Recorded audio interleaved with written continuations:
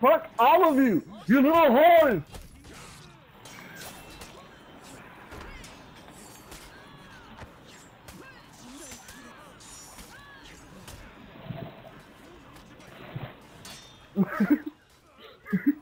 I'm sorry to hear my whales just crying.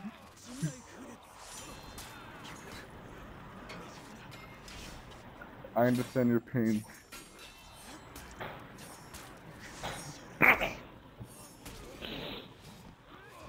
I have only gotten one kill. That's pretty sad. Well, I uh, think I just killed the whole team here.